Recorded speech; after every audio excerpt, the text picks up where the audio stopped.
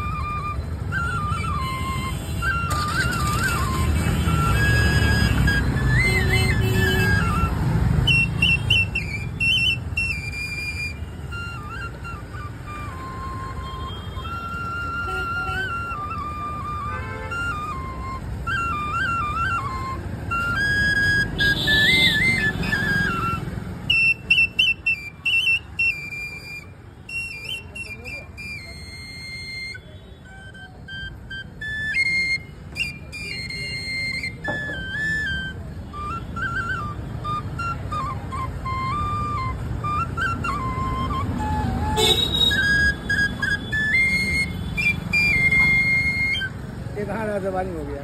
अच्छा। कौ, कौन सी धुन थी ये? तुझको पुकारे मेरा प्यार। तुझको पुकारे बहुत पुराना गाना है। बहुत पुराना मोहम्मद जी गाना है। अरे वाह बहुत बढ़िया बहुत बढ़िया गाया। अरे साहब क्या भैया है।